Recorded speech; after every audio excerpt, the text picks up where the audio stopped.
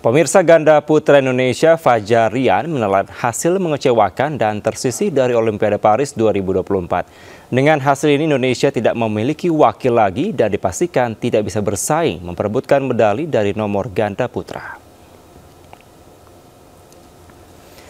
Ganda putra Fajar Alfian Muhammad Rian Ardianto tersingkir dari perempat final bulu tangkis ganda putra Olimpiade Paris.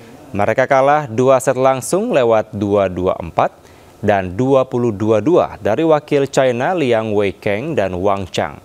Padahal mereka menjadi harapan terakhir tim putra badminton Indonesia untuk sumbang medali di Olimpiade.